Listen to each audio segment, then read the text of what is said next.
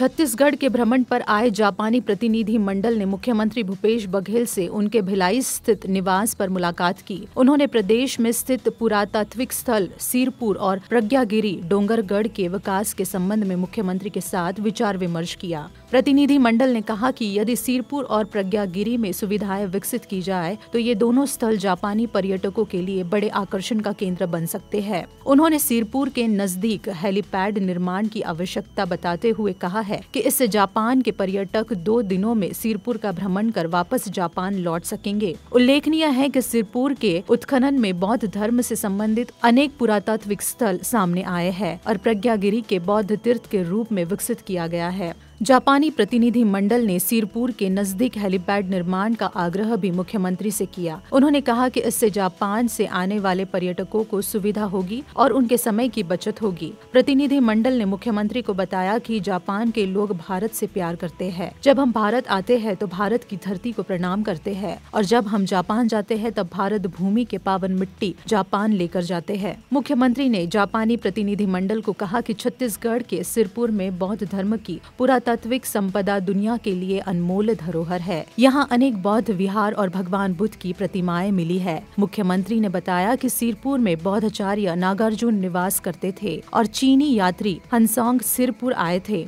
जिन्होंने भारतीय इतिहास को चीनी भाषा में लिखकर भगवान बुद्ध के शांति एवं भाईचारा के संदेश को दुनिया में फैलाया और भारतीय इतिहास को बचाकर रखा। आप लोग सिरपुर की यात्रा करें और सिरपुर का अध्ययन करें।